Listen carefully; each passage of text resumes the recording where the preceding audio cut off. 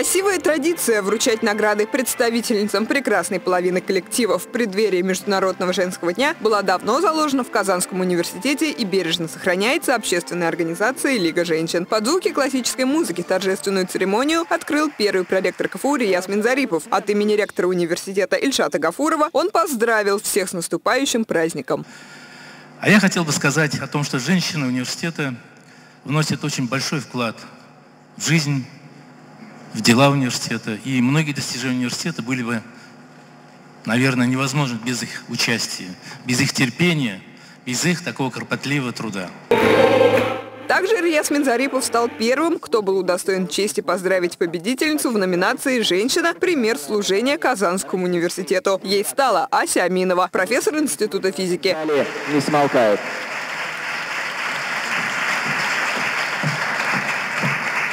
Всего подобных номинаций было 11, в каждой из которых отмечали различные заслуги сотрудниц КФУ. Мы творим науку вместе. Я работала в университете, преподавала, учила студентов, растила детей, немножко внуков.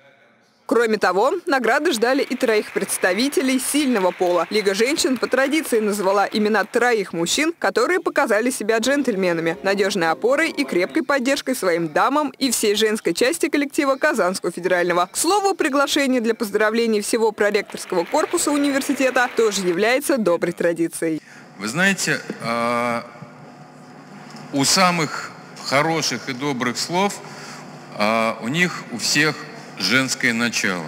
Смотрите, семья, любовь, наука.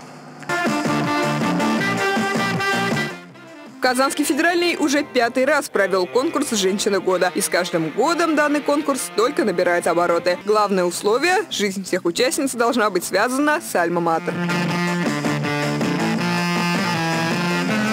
Без творческого начала нет и научного начала, поэтому я очень люблю и творчество, и творчество в работе очень сильно помогает. Э, сегодня представлены здесь мои картины, я очень счастлива, потому что раньше картины, они я их как-то не выставляла, все-таки это больше для души. Я счастлива, что в университете есть такая возможность э, показать, э, поделиться своими творческими, творческими порывами в рамках такого прекрасного праздника.